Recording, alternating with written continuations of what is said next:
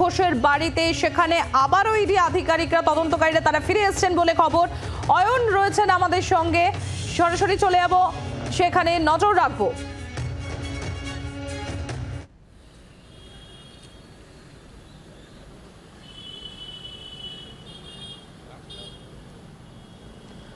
অয়ন, একটু আগেই আমরা দেখেছিলাম সন্দীপ ঘোষের বাড়ি তালা লাগানো ছিল এবং দীর্ঘক্ষণ কেউ তালা না খোলায় সেখান থেকে ইডি তদন্তকারীরা তারা ফিরে যান। আবারও তারা ফিরে এসছেন। কি চলছে এখন ওখানে? একেবারে সম্প্রীতি, যেটা বারবার তোমাদেরকে বলছিলাম যে এখানে কেন্দ্রীয় আধা সেনা রেখে ইডি আধিকারিকরা কিছুক্ষণের জন্য ফিরে গিয়েছিলেন সিজিও কমপ্লেক্সে। প্রথমত পরবর্তী রণকৌশল ঠিক করতে এবং তারপর এই বাড়ি, যেহেতু এখানে ঢোকা গেল না, আমরা আবারও দেখাতে চাইব সেই ছবি। এই বাড়িতে ঢোকা সম্ভব নয়, কারণ গেটের মধ্যে এখানে একটি তালা ঝুলছে, এটা হচ্ছে সবথেকে বড় লোহার গেট। তার পাশে যে মানুষের ঢোকার গেট, সেই গেটের মধ্যে একইভাবে তালা ঝুলছে এবং তার পাশাপাশি এখানে ভেতরের যে গেট, কোলাপসেবল, সেখানেও তালা ঝুলছে। এই অবস্থায় বাড়িতে যে কোনো সদস্য নেই, এটা একেবারে পরিষ্কার। কি করা হবে এই বাড়িতে? এই বাড়িতে কি ঢোকা যাবে? এই বাড়িতে যদি ঢোকা না যায়, তাহলে এই বাড়ির ভেতর আরজিকরের আর্থিক দুর্নীতি সংক্রান্ত যে একাধিক নথিপত্র আছে বলে তদন্তকারী ইডি আধিকারিকরা মনে করছেন, সেগুলো কীভাবে এখান থেকে উদ্ধার করা যাবে? এই প্রশ্নই ভাবাচ্ছিল ইডি আধিকারিকদের। তারা কিছুক্ষণের জন্য গেছিলেন সিজিও কমপ্লেক্সে। তারা ঠিক তিন মিনিট আগে আবার এখানে ফিরে এলেন। আমরা দেখতে পাচ্ছি এই মুহূর্তে ইডি আধিকারিকদের সেই গাড়ি। যে গাড়ি এই মুহূর্তে পাহারা দিচ্ছে আধা সেনা এবং সেই গাড়িতেই রয়েছেন ইডি আধিকারিকরা যারা কিছুক্ষণ আগে এখান থেকে গেছিলেন। ছটা পঁচিশ থেকে সাতটা কুড়ি মিনিট পর্যন্ত এই বাড়ির সামনে অপেক্ষার পরে এখান থেকে তারা ফিরে গিয়েছিলেন এবং তারা আবারও ঠিক আটটা ছাপ্পান্ন মিনিটে এখানে ফিরে এলেন। এবার তারা কি করবেন? তারা কি এই বাড়িতে নোটিশ লাগাবেন?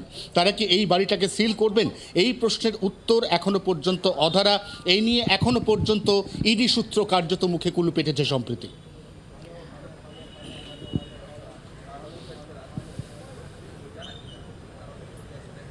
অয়ন আরও একটা বিষয়। এই মুহূর্তে সন্দীপ ঘোষ সিবিআই হেফাজতে এবং এই পরিস্থিতি দাঁড়িয়ে সেখানে সিবিআইয়ের তরফ থেকে তদন্তকারী দল যায় এবং তার বাড়ি থেকে তার বিরুদ্ধে যা যা অভিযোগপত্র, তার অরিজিনাল কপি থেকে শুরু করে আর্জি করে ক্লাসিফাইড ডকুমেন্টস তার পাশাপাশি তার বিরুদ্ধে যে সমস্ত ইনকোয়ারি চলছিল সেগুলোর নথিপত্র সেখান থেকে বাজেয়াপ্ত করে সিবিআই।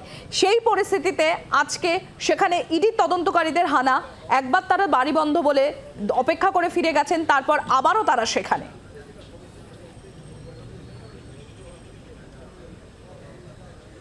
যে খুন এবং ধর্ষণের ঘটনা ঘটেছে, তার পরিপ্রেক্ষিতে ইতিমধ্যেই সিবিআই তদন্ত করছে।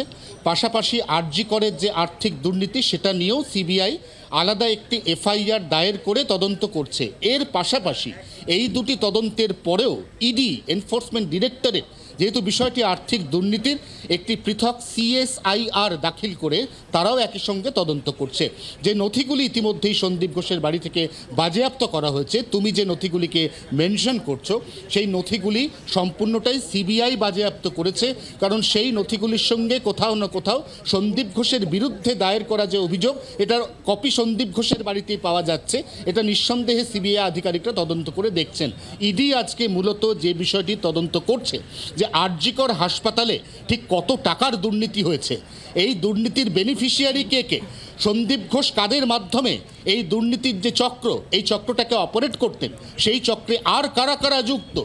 এই যাবতীয় বিষয়গুলি নিয়ে তদন্ত করতে ইডি আলাদা করে সিএসআইআর দাখিল করেছে এবং যার পরিপ্রেক্ষিতে ইডি আধিকারিকরাও এই বিষয়টি নিয়ে তদন্ত করছেন। সেই তদন্তের অঙ্গ হিসেবে শুধুমাত্র সন্দীপ ঘোষের বেলেঘাটার এই বাড়ি নয় একসঙ্গে আরও তিনটি সব মিলিয়ে চারটি ঠিকানায় তল্লাশি চলছে যে প্রত্যেকটি ঠিকানাই হচ্ছে সন্দীপ ঘোষের অ্যাসোসিয়েট বা ঘনিষ্ঠদের বাড়ি এবং সেই বাড়িগুলিতে একযোগে তল্লাশি চালিয়ে এই দুর্নীতির যে মোট অঙ্ক বা যে মোট ব্যাপকতা এটাকে বোঝার চেষ্টা করছেন ইডি আধিকারিকরা। সম্প্রতি। একেবারেই অয়ন, তুমি যেটা বলছিলে যে ইডি আধিকারিকরা আজকে সকাল থেকেই সন্দীপ ঘোষ ঘনিষ্ঠ বিভিন্ন জনের বাড়িতে, যার মধ্যে একজন বিপ্লব সিং অলরেডি সন্দীপ ঘোষের সঙ্গে সিবিআই হেফাজতে রয়েছে এবং সেই বিপ্লব সিং এরও ঘনিষ্ঠ আরেকজন কৌশিক কোলে, তার বাড়িতেও সেখানে ইডির হানা। তার পাশাপাশি প্রসূন চ্যাটার্জি, এই প্রসূন চ্যাটার্জি তার বিরুদ্ধে দুটো বিষয়।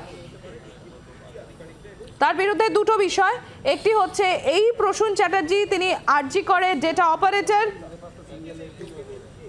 তার বাড়িতেও এনফোর্সমেন্ট ডিরেক্টরেটের হানা এবং শুধু তাই নয়, প্রসূন চ্যাটার্জির বিরুদ্ধে, প্রসূন চ্যাটার্জির বিরুদ্ধে অভিযোগ হচ্ছে, প্রসূন চ্যাটার্জিকে ওই ক্রাইম সিনে সেদিন দেখা গেছিল এবং তিনি আরজি করের ডেটা অপারেটর এখানে আরও একটা বিষয় উঠে আসছে, অয়ন। এই যে সন্দীপ ঘোষ এবং তার সঙ্গে তার সঙ্গে যে সঙ্গীরা, অর্থাৎ এই বিপ্লব সিং, সুমন হাজরা, যারা অলরেডি সিবিআই হেফাজতে রয়েছে, সেই এদের এই যে একটা আর্থিক তছরূপের যে অভিযোগ, অর্থাৎ যে তছরূপের অভিযোগের তদন্তে নেমেছে এনফোর্সমেন্ট ডিরেক্টরেট সেই আর্থিক তছরূপে যেটা জানা যাচ্ছিল যে প্রথমে দশ শতাংশ টেন্ডার পাইয়ে দেওয়া টেন্ডার পাওয়ার পর দশ শতাংশ কাটমানি এবং তারপর কাজ হয়ে যাওয়ার পর আরও দশ শতাংশ কাটমানি। অর্থাৎ এই সন্দীপ ঘোষ আরটি করে অধ্যক্ষ হয়ে ঢোকার পরই এই কাটমানি প্রথা চালু হয়। কত টাকার আর্থিক তছরূপ হয়েছে এবং শুধুমাত্র এই কাটমানি বা টেন্ডার পাইয়ে দেওয়া নয় মেডিকেল ওয়েস্ট মেডিকেল ওয়েস্ট নিয়েও তার বিরুদ্ধে একটা গুরুতর অভিযোগ রয়েছে যে এই দেশের গণ্ডি পেরিয়ে বাংলাদেশে এই মেডিকেল ওয়েস্ট তিনি পাচার করতেন বা বিক্রি করতেন এবং সমস্ত কিছু তদন্তে আজকে এনফোর্সমেন্ট ডিরেক্টরেট যে মোডাস অপারেন্ডি সেটা কখনোই এই চার বা পাঁচজন মানুষের দ্বারা অপারেট করা সম্ভব নয়। যেমনটা তুমিও বললে, যেখানে একটা আন্তর্জাতিক লিঙ্ক রয়েছে মেডিকেল বর্জ্য বাংলাদেশে পাচার করা হতো। এখন এই বাংলাদেশে মেডিকেল বর্জ্য পাচার যে কোনো টেন্ডার ডেকে সেখান থেকে টেন পার্সেন্ট কাটমানি, আবার তারপর টেন্ডার পাশ হয়ে যাওয়ার পর তার উপর কমিশন এই টোটাল যে আর্থিক দুর্নীতির মোট অঙ্কটা কত? এটা এই মুহূর্তে সবথেকে গুরুত্বপূর্ণ প্রশ্ন, এটা জানা দরকার। এবং সেই টাকার অঙ্কটা কত? এই যে জাল, এটা কতদূর পর্যন্ত বিস্তৃত?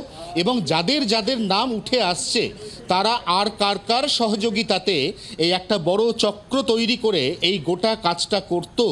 এই গোটা বিষয়টার তল পেতে এই মুহূর্তে মরিয়া, কেন্দ্রীয় গোয়েন্দা সংস্থা ইডি এবং ঠিক সেই কারণেই আমরা দেখতেও পাচ্ছি এই মুহূর্তে ইডির আধিকারিক যারা এসছেন, তারা একই সঙ্গে ইডি, তার সঙ্গে ব্যাংক, একাধিক যে সরকারি সংস্থা রয়েছে, তার আধিকারিকরা এসছেন এবং তারা যেটা জানার বা বোঝার চেষ্টা করবেন যে তদন্ত আজকে সকাল থেকে ফুল ফ্লেজেড একটা অল আউট অ্যাকশন শুরু হয়েছে ইডির। সেখানে জানার বা বোঝার চেষ্টা হবে যে এই দুর্নীতির জাল কতটা পর্যন্ত বিস্তৃত, এর শেকড় কোথায়, কারা কারা এখানে বেনিফিশিয়ারি কারা কারা এখানে প্রত্যক্ষ বা পরোক্ষভাবে যুক্ত এবং এই গোটা আর্থিক দুর্নীতি আরজিকর হাসপাতালের এখানে মোট টাকার অঙ্কটা কত? এটা কত টাকার আর্থিক দুর্নীতি? এই গোটা বিষয়টা তদন্ত করতেই এই মুহূর্তে বা বলা ভালো, আজকে সকাল থেকে একেবারে অল আউট অ্যাকশনে নেমেছেন ইডি আধিকারিকরা, সম্প্রীতি। আর অয়ন এখানেই প্রশ্ন উঠছে যে এই সন্দীপ ঘোষ কতটা প্রভাবশালী হলে, তবে সন্দীপ ঘোষ কতটা প্রভাবশালী হলে, তবে এইভাবে তার বিরুদ্ধে যত অভিযোগ, তার অরিজিনাল ডকুমেন্টস যেমন রয়েছে তার বাড়িতে, এমনকি ক্লাসিফাইড ডকুমেন্ট সেটাও তার বাড়ি থেকে উদ্ধার হচ্ছে। শুধু তাই না এত বছর, এত দীর্ঘদিন ধরে তিনি আরজি করে প্রিন্সিপাল হওয়ার পর থেকে এইভাবে আর্থিক তছরূপ করেছেন এবং তার পাশাপাশি কাটমানি প্রথাও চালু করেছেন। এই প্রশ্নও কিন্তু উঠে যাচ্ছে।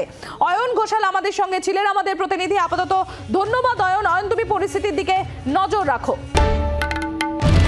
বাংলার আওয়াজ, বাঙালির আবেগ। জি, চব্বিশ ঘণ্টা।